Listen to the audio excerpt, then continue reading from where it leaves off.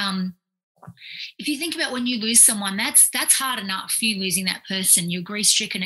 You think about what that's, that person will lose every single relationship they've ever known, existing previous, so all the roles they've ever played in life. You know, all their experiences. You know, the smell of rain, which is raining right now. You yeah. know, a good glass of wine. Um, you know, the beach, the you know walking on sand, all of those beautiful. They're about to lose everything. That's enormous for our mm. psyche hard to take. So we have to look away. So that's okay. So when we get that kind of resistance in this phase, therapeutically, what you do with that is that that's okay. You respect it. That's okay.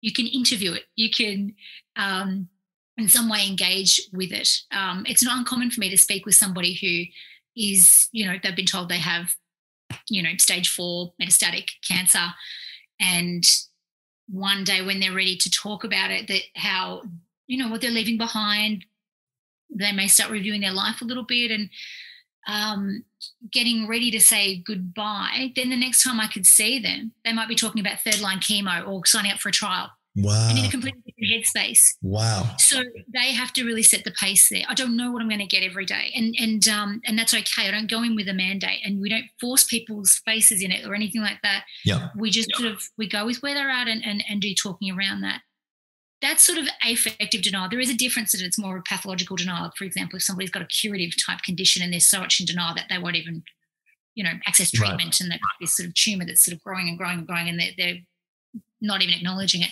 That's a different, that's more pathological.